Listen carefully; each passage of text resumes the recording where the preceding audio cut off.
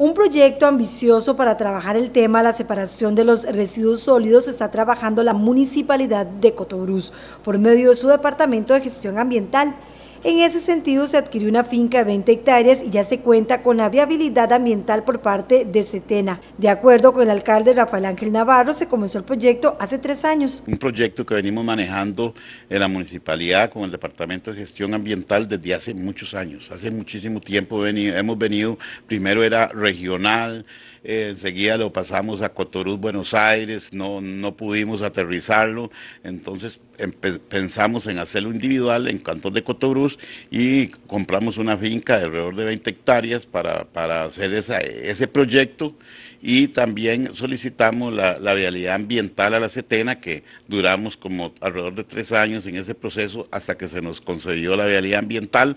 Ahora vamos con, con el proyecto. La intención es contar con un espacio para el tratamiento de residuos sólidos y así disminuir la cantidad de basura que es trasladada a un relleno sanitario. El proyecto consiste en tratamiento de residuos sólidos. Ese es un cambio total a lo que es un relleno sanitario, porque los rellenos sanitarios como que, o de que es un, muy costoso, muy caro el, el, el, hacerlo, el, aterrizar un proyecto de relleno sanitario, eh, se ocupa muchas toneladas de residuos, muchísimas, de 250 hacia arriba para que sea rentable y un parque ecológico con los residuos que nosotros producimos en el cantón, podemos hacer algo muy bonito que va a dar fuentes de trabajo a las familias de las comunidades cercanas donde va parque y también este, va a ser muy atractivo hasta turísticamente eh, para las escuelas, para los colegios, para las universidades, hasta para gente eh, internacional que pueda conocer. Un... Para ejecutar el proyecto se necesitan unos 350 millones de colones.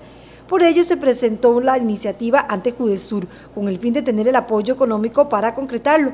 La idea es desarrollarlo en tres etapas un proyecto de esos eh, que para nosotros va a ser muy innovador, en, tanto en la región y también en el país. Entonces, trabajamos en ese proceso, ya estamos, hoy estamos aquí en Judesur, gracias a Dios, para presentar el proyecto de la Junta Directiva, para ver si nos apoyan con, eh, la, con la parte económica, y es un proyecto que no es tan caro, ya, ya totalmente eh, terminado, andan alrededor de 350 millones, pero lo vamos a hacer en tres etapas para poder lograr de, de, de cambiar la situación de tratamiento de los residuos sólidos. El jerarca municipal dijo que la población tiene que separar malos desechos. Esto permitirá menos gasto en el traslado de lo que es basura. En nuestro gobierno local, la prioridad es el tratamiento de residuos sólidos, principalmente en la separación desde las fuentes, el reciclaje, para poder lograr de llevar menos residuos a los rellenos sanitarios, como lo estamos haciendo muchas municipalidades del sur hasta la provincia, hasta Punta Arenas, ¿verdad? Que es en Miramar de Punta Arenas, sale sumamente caro y entonces este, podemos este, darle